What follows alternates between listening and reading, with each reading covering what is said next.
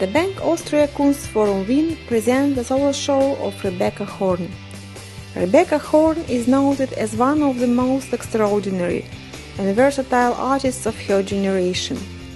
Kunstforum Wien is celebrating her with the first comprehensive retrospective of her works in Austria in almost 30 years.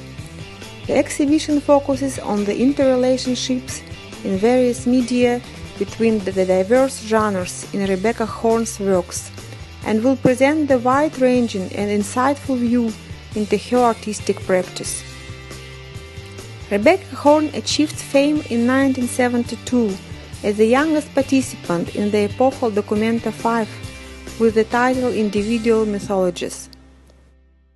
Her artworks make up an expanding web of objects, motifs, and themes that she constantly spins anew. We are looking forward to seeing you at Kunstforum Wien.